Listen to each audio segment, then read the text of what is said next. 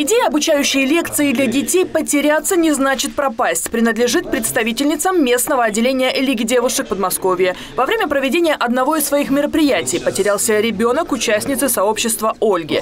Он гулял со старшей дочерью и неожиданно исчез из поля зрения девочки. Поиски продлились недолго, с мальчиком все в порядке, но именно тогда возник вопрос, а что делать при такой ситуации? Так как меня рядом не было, я успокоила дочь. Сабина вовремя подсказала, что надо смотреть возле магазина. Вот, ребенок действительно доехал до магазина и стоял на месте, ждал.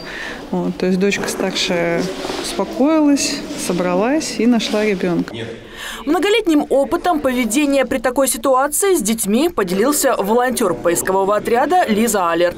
Представитель спасательной группы в пример привел сценарий, когда дети теряются в черте города и в лесу. Объяснил, как стоит вести себя, чтобы спастись и быть найденным.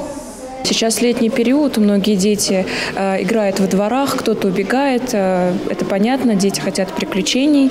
Э, это продиктовано и фильмами, и рассказами, и это вообще свойственно детям. Поэтому, конечно же, мы думаем, что это полезно для родителей и для детей.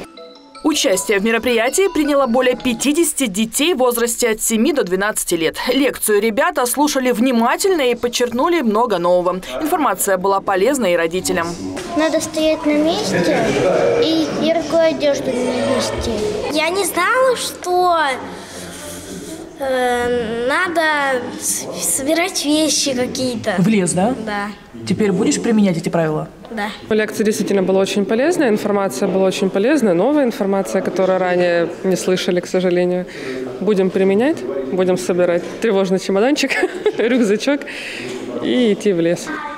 Планах у организаторов продолжить работу в данном направлении. Юлия Погосян, Александр Логинов, Гульнара Балаева. Видно этого.